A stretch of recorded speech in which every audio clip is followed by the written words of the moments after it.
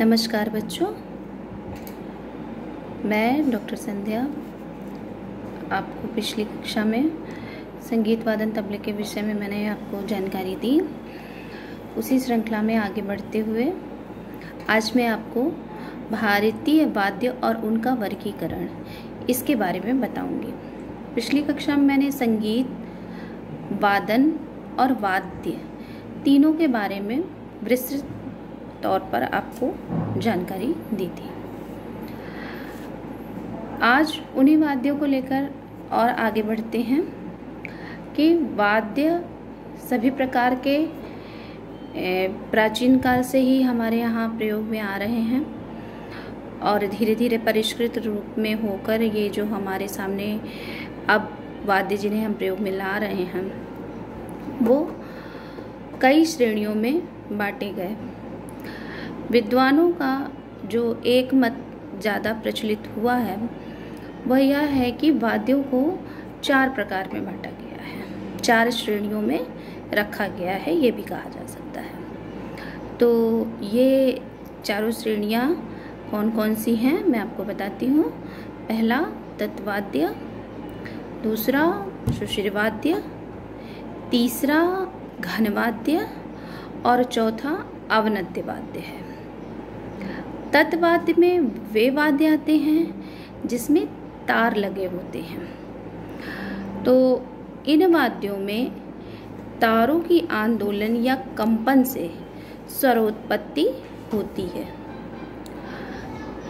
ऐसे वाद्यों में मुख्य रूप से सितार, वालन, इसराज, सारंगी ये वाद्य आते हैं।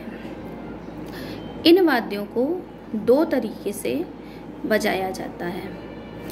पहला, एक अंगूठी के माध्यम से, जो कि खास छल्ले नुमा होती है, और उसमें तर्जनी उंगली में पहनकर इसको तार से स्वरों को छेड़ा जाता है। तब स्वरों की उत्पत्ति होती है। दूसरा, एक पत्ती की सहायता से भी बजाया जाता है। और तीसरा इसमें गज, कमानी और बो से तारों को रगड़ कर बजाया जाता है। आपने देखा भी होगा इसको। अब हम आते हैं सुशिर वाद्य में। दूसरा हमारा है सुशिर वाद्य सुशिर वाद्य में वाद्यों की वाद्यों में स्वरों की उत्पत्ति मुँह से फूक कर या हवा के दबाव या ज़ोर से होती है। ऐसे वाद्यों के अंतर्गत बांसुरी, शहनाई, हारमोनियम और माउथ हार्गन जैसे वाद्य आते हैं। तीसरे नंबर पर आता है घन वाद्य। घन वाद्य ऐसे वाद्य हैं जो धातु निर्मित होते हैं और आपस में टकरा के जिनका स्वरोत्पत्ति होती है। इन वाद्यों के अंतर्गत मजीरा, झांझ, घंटा घड़ियाल, इस तरह के वाद्य आते हैं। फिर है अवनद्य वाद्य। अवनद्य वाद्य के अंतर्गत वे वाद्य आते हैं जिनके मुँह पर चमड़ा मढ़ा होता है।